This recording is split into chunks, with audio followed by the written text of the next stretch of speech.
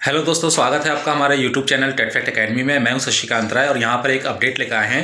बिहार शिक्षक अभ्यर्थी जो दूसरे चरण के हैं, यानी बीपीएससी टीआरई 2.0 इसके अभ्यर्थियों को एक खबर आई है और वो जो है न्यूज़ काफ़ी इंपॉर्टेंट है, जो कि आपके लिए ज़रूरी हो सकती है। हो सकता हो आपने जो है आवेदन करते समय कोई गलती की हो, उस गलती को सुधारने का एक मौका मिला है तो इस वीडियो को शुरू करने से पहले आपसे कहना चाहते हैं कि जो लोग भी जो है हमारे चैनल पर नए हैं, चैनल को सब्सक्राइब कर सकते हैं और ये वीडियो अगर आपको पसंद आता है तो वीडियो को लाइक कर लीजिएगा। तो आइए देखते हैं कि न्यूज़ और खबर क्या है। यहाँ पे जो है न्यूज़ का एक नोटिस आया है यह है विज्ञापन संख्या सत्ताईस दो विद्यालय अध्यापक नियुक्ति प्रतियोगिता परीक्षा के संदर्भ में है।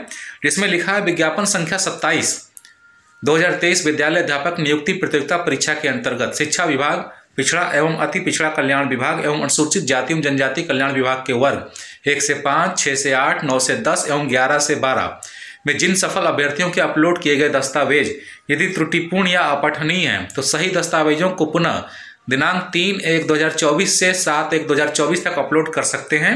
और इसका जो है प्रोसेस बताया गया है, इसके लिए बिहार लोक सेवा आयोग की वेबसाइट ऑनलाइन इन पर अपने लॉगिन आईडी एवं पासवर्ड से लॉगिन करने के उपरांत अपने डैशबोर्ड पर जाकर त्रुटि रहित एवं पठनीय प्रति अपलोड कर सकते हैं।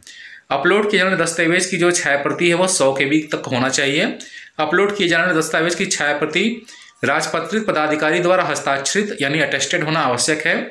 साथ ही अपलोड करते समय राजपत्रित पदाधिकारी का नाम पदनाम पदस्थापन का स्थान एवं संपर्क संख्या पोर्टल पर अंकित करना सुनिश्चित करेंगे।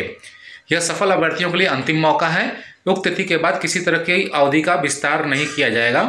परीक्षा नियंत्रक बिहार लोक सेवा आयोग, पटना। ये अट्ठाईस बारह दो हज़ार तेईस का जो है ये नोटिस निकाला गया है।